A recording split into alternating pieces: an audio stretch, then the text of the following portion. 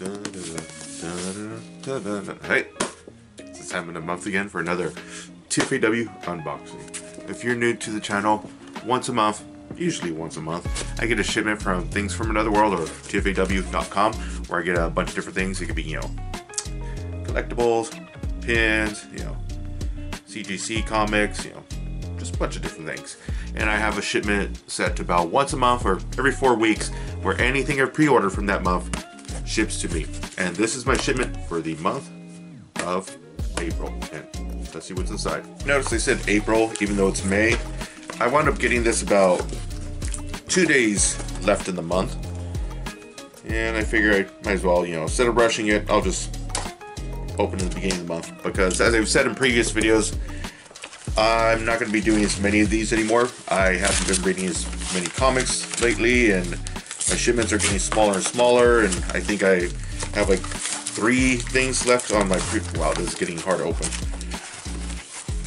For once, they actually packaged it incredibly well with the, the new shippers.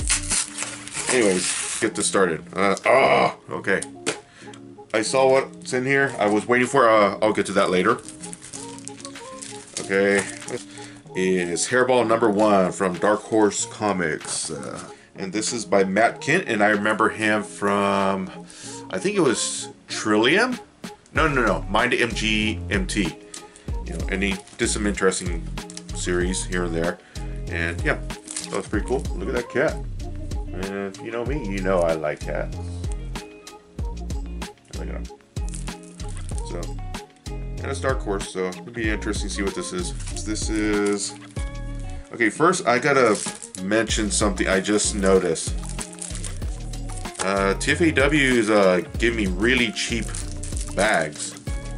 Like all these bags have wrinkles on them. Like I don't know if you see it from this angle.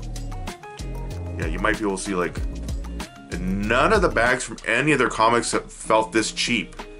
This feels cheap. And keep in mind, you pay extra for the bags and boards. This does not feel very secure. Like, okay. I know this is supposed to be unboxing, but this is going to be a little bit of criticism. Uh, for reference, I have a lot of TFAW comics behind me. Now, look at the plastic there. Look how smooth that is. You can see straight across. And now look at this one. You can see all those ridges and lights because this is really cheap plastic. And look how loose it is. Look, this, this even sounds better as opposed to this. And and the board on here seems to be thicker. Like, okay. Dead Romans number one of six, cover B by Marinkovich. Okay, I hate that I can see that. You know, I'm gonna take it out this stupid bag. I was in a good mood. That kind of annoyed me. Okay, see? You can see that much better now. And it looks like from, I can tell that this back cover, this is from Image Comics.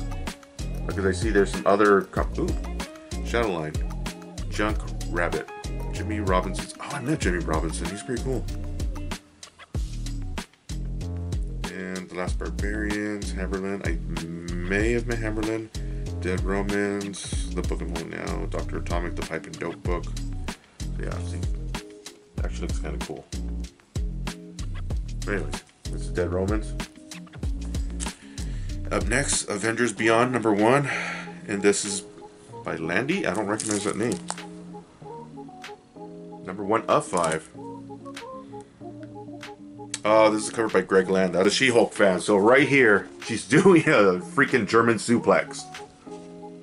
If you don't know what a German suplex is, that's where you get behind your opponent, your chest to their back, wrap your arms around them, and you basically don't do a backflip, but you arch your back all the way back so you're slamming the back of their head and neck against the mat or the floor, you know, a la this. And, you know, the better the German suplex you have, the more of an arch. And if you're trying to pin them, you want to get on your tippy toes because that's hard to do and it looks freaking cool.